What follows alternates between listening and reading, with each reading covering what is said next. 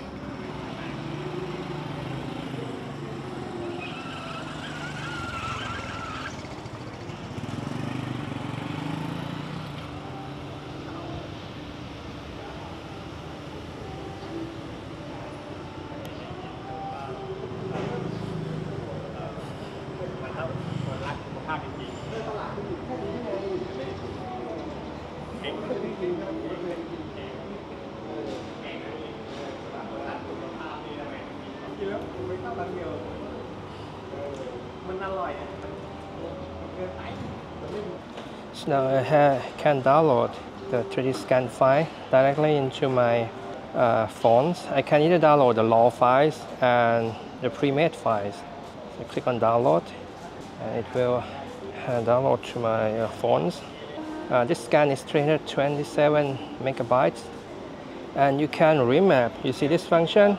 You can remap the point cloud uh, SLAM algorithm within the scanner. It has uh, integrated computer inside. So if I click on remap, it will remap everything. Takes about uh, 15 minutes for this scan, I think. And I can also continue the scanning from the last point that I scanned, right? And I can also um, uh, this scan is uh, 7 minutes and 329 meters. And can also, um, uh, its preview is not very good with the Android, but I think it's better with the iPhone. So you can uh, preview um, the scan data in your phones, right? And not very nice, but um, it works fine. Okay, now I'm going to turn off the scanner. Uh, the, the new one is S2. I browse the files from the scanner and then I click on the scan scene, uh, which is uh, mostly is indoor. And I choose a mapping range to just um, 40 meters because I don't want to map the building that is too far away. I click on OK. Now it start to uh, process. Use all of the CPU cores uh, 11 gigs of RAM, not much, and some of the GPU. Okay, it's a result from FJD S1, uh, 43.9 million points. I'm going to trim it because uh, it's too big, the area that I need. So I'm going to trim it uh, for just this area. Keep uh, inside, delete the outside. Okay, now let's trim you can see here that uh, the result is very clean and if I um, do a clipping box okay this is the floor plan. It's cloud floor plan. It's very clean. The wall is very thin. So and if I move it the section okay this is the location where I need to put on the the new canopy. Okay I can clearly see the floor. I'm going to attach the new canopy to the floor slab and some structure here which I can see it really clear. I've done this before with the FJD Trion S1 for the shopping mall additional canopy structure. Uh, even larger than this, it um, the clearance for uh, tensile structure is very small, um, plus or minus uh, three or four centimeters only. So if um, if the survey result is wrong, uh, the structure that I uh, prefabricated from the factory uh, will not fit. So it's very important for me to get a very high accurate result. I've been uh, using the Trion S1 for many of my projects in the past two years. Never have an issue. So, okay, this is the third floor the third floor slab if I look from the top view yeah okay it's very um, visible. See the, the floor lines? See here? It's quite uh, thin and it's um, distinguishable. So I can use it for reversing in CAD for the fixing point. And if you look at the parallelness of the floor see um, third floor and second floor is all parallel. Uh, this is um, not too difficult to scan because uh, the walkway is wide. It's shopping mall, so the walkway is wider than usual. And we have all the parallel floors. Okay, so I will export this uh, 3D scan from uh, Trion S1. I will use it for making a structural model. I exported the LAS format. Here's an Autodesk ReCap. I'm going to uh, convert the files from LAS to RCP, which is uh, recognizable by the Autodesk products. Okay, and then I'm going to drop the LAS files here. Okay, here's the files. Just click on save. Here's in AutoCAD. I will bring in uh, the point cloud. Click on insert, attach. Select the RCP files, click open. Put it on origin point. Okay, now the whole building is here, but the point cloud is a bit uh, bigger than uh, you need to. So I will uh, make it a little bit smaller. Now it's smaller. Okay. And the area that I'm going to use will be uh, on the third floor slab and to the ground floor. So I'm going to uh, make a rectangular crop like this and keep all the inside. Okay, I will use it just for this area and I can also uh, uh, make it a little denser, right? So next I'm going to uh, create a new layer called um, point cloud.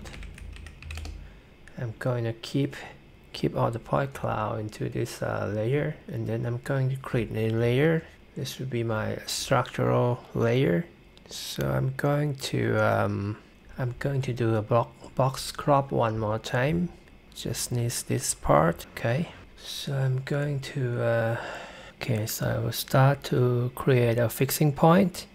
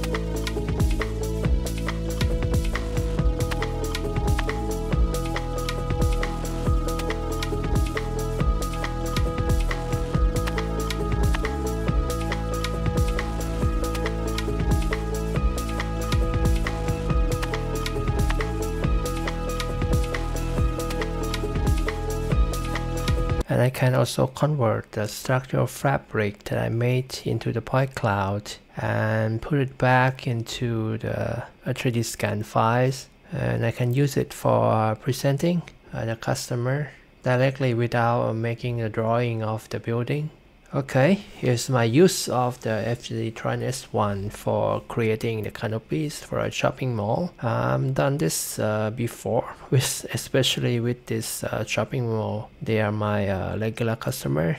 Okay, thanks you guys for watching. I see you in the next video.